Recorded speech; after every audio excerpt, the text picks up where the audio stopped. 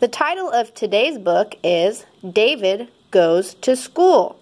And as you can see, we have the same character whose name is David. And this book was written and illustrated by the same guy. So it has the same author and illustrator as No David. And his name is David Shannon.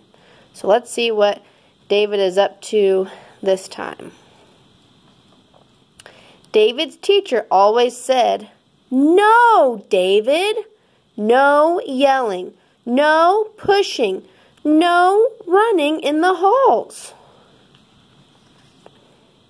David, you're tardy. Tardy means he's late to class. Sit down, David.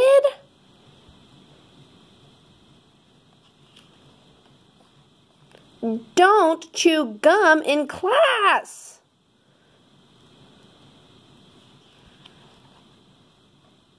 David, raise your hand. Looks like he's just shouting out.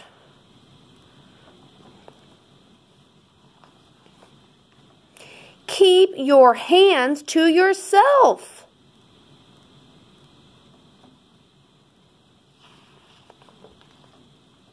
Pay attention. So he's not even looking at his teacher, he's looking outside daydreaming.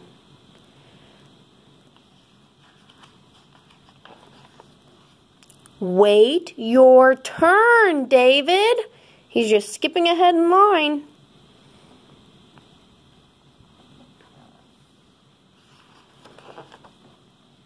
I don't care who started it.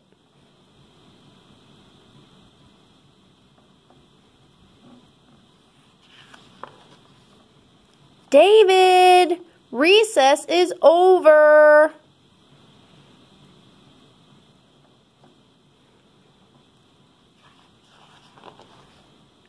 Shh. I think he's using his pencils as drumsticks and his book as a drum.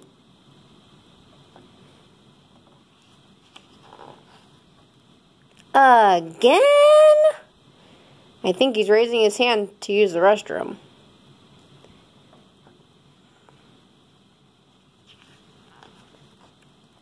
That's it, mister.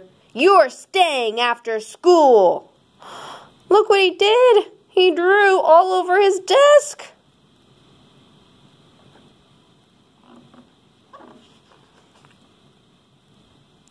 David, have you finished? Looks so clean.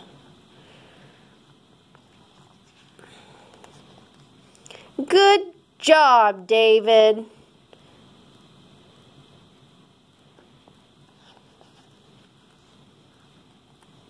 Yes, David. You can go home now. So I hope you guys have a better time making good choices.